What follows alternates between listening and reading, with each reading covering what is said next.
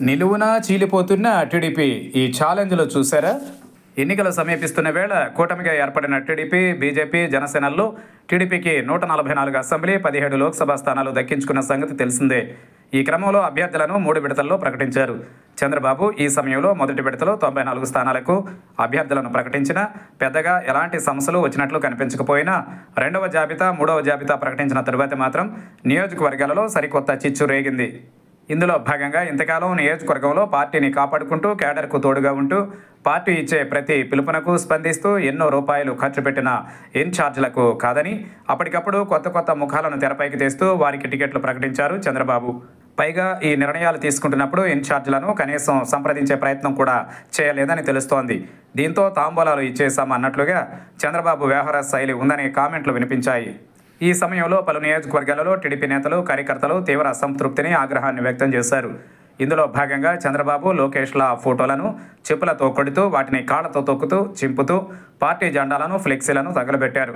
ఇదే సమయంలో పార్టీ కోసం పనిచేసిన వారికి కాకుండా డబ్బులకు టికెట్లు అమ్ముకున్నారంటూ తీవ్ర స్థాయిలో దుయ్యబట్టారు.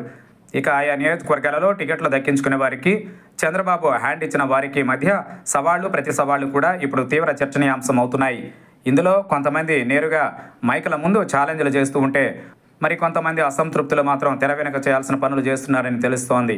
దీంతో పెద్ద షాకే తగిలేలా ఉందనే కామెంట్లు వినిపిస్తున్నాయి.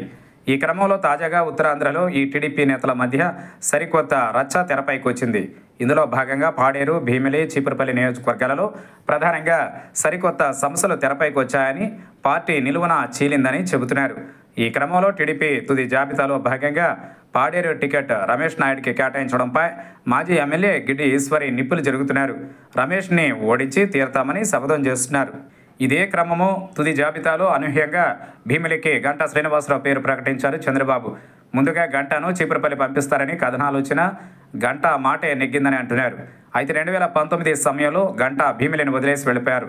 అప్పటి నుంచి నియోజకవర్గంలో ఇన్ఛార్జిగా పనిచేస్తున్న తనకు కాదని గంటకు టికెట్ ఇవ్వడంపై ఫైర్ అవుతున్నారు రాజబాబు.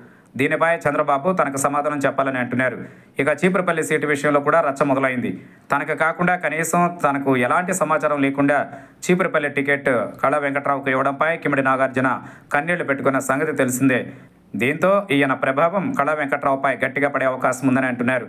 మరి ఈ సమస్యలను చంద్రబాబు పరిష్కరిస్తారా? లేక లైట్ తీసుకుంటారా అనేది వేచి చూడాలి.